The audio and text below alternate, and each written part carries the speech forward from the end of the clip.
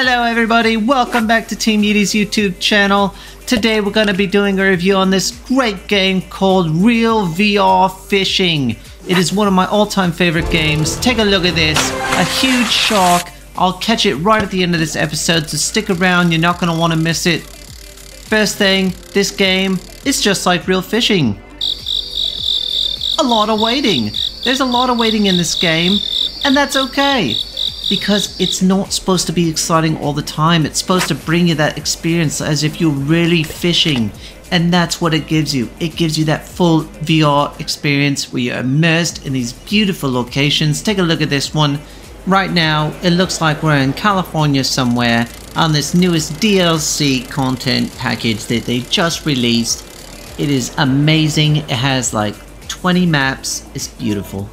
Now, one thing about this game is that you have two rods. You have a bait rod and then you have a lure rod. You can choose between the two, whichever you prefer. Lure rod's a little bit more exciting as you go throughout the game.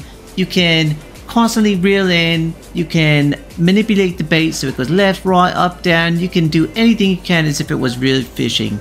Then when you go to the bait fishing, it's a little bit more relaxed for those of you who just want to enjoy catching a fish and sitting back, watching the scenery, watching all the cool effects. Sometimes there's things going on in the background that happen at different times. Look at this. I just got a fish on. I love it when that happens. It's so exciting. It's like everything just kicks into gear. You got a fish. You got to reel it really quick. Right now, what you're seeing is I'm on expert mode right now. And so I don't have the goggles on. When you're on easy mode, you have these goggles that will actually show you where the fish is. And when you're on hard mode, the goggles go away, but it still gives you some tips on which way to move the reel left, right, up, down, those types of things. And then expert mode, it's just like fishing. It gives you no help except for the line. The line goes red and blue. When it goes red, that means you need to let go, relax, let the fish take a little bit. When it's blue, you gotta reel it in quick so you don't lose the fish. Just like fishing. You have to feel it. Take a look at this. I got a mini shark. Not what I'm after. I'm after a giant shark in this episode, which I will eventually get. But when you come home from work, after a long day, you just want to relax. You don't want to go out and shoot zombies. You don't want to have to do any puzzles. You just want to sit back, catch some fish and relax. This is the perfect game for you. Look at that. Another fish on. I don't think this is a shark but this is a big fish. You can tell when you have a big fish when you have a bite and you go to pull it in and then it just takes your line all the way out to the end. If you're liking the video so far, go ahead, take a moment and subscribe to the channel. Give it a thumbs up if you really, really like it, okay? This is going to help us grow and get to more audience. I'll go ahead and pause here for just a moment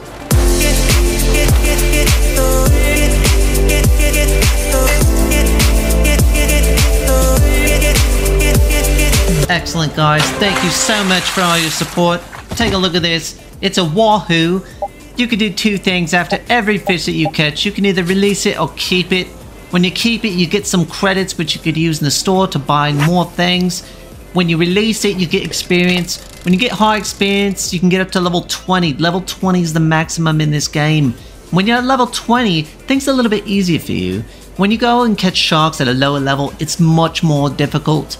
And the main thing is you want to get sharks. Sharks are really cool in this game. It's like the ultimate rush, the ultimate achievement, and then the hardest things to catch. They take quite some time. Look at this. Here's some nibble on my line right now, but I don't think the fish is going to take it. It might, it might not. That's nothing about this. They don't always take. Alright, fish on. Excellent. Going back to the credits, when you do get a lot of credits accumulated, you can buy new things, you can buy new rods. Uh, there's three types of rods, rod A, B, and C. Rod A is the highest level. When you are trying to catch sharks, rod A, reel A, you want to use those because they go the farthest distance. Rod C is like the beginners, where you want to catch a small fish. If you do happen to catch a shark on rod C and reel C, you're going to have a mighty hard time to bring it in. It's likely going to break your line, so highly advised to use rod A. Looking at the screen right now, you'll see I'm searching through all the fish that you can catch in this map. You can do that in every map. Take a look at it.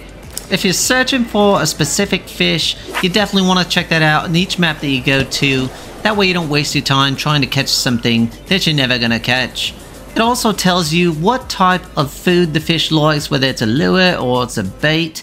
And when you go to the store, you can select what types of bait you want. You have about six selections of bait, and there's three different levels of those bait. There's like a beginner, and then a medium, and then an expert one. Uh, the expert one is clearly going to be the more expensive ones, like $250 for just a few pieces of bait, but it's definitely worth it. You're more likely to catch some exotic fish, higher level fish, worth lots more money, which you could just buy more bait with that money. Another thing about this, talking about the money, is that when you're on easy mode, you don't get a lot of money. When you're on hard mode, you get a little bit more money. When you're on expert mode, you get the most money. So I'd highly encourage you guys to all switch over to expert mode. Yeah, it is a little bit more challenging, but the payoff is way better.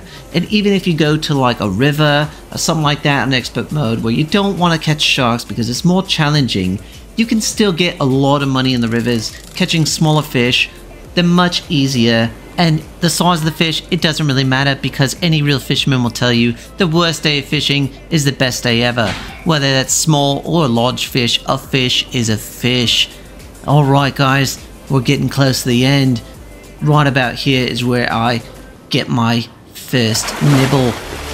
And then right about here is where you'll see the shark jump up and take my fish. It's okay though. There we go. I got a shark on guys. This is exciting.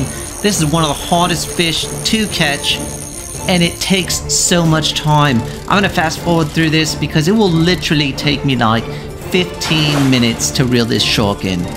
What happens is, as you're fighting this thing, it goes from left side of the map all the way to the right side. It comes in close, it goes out far.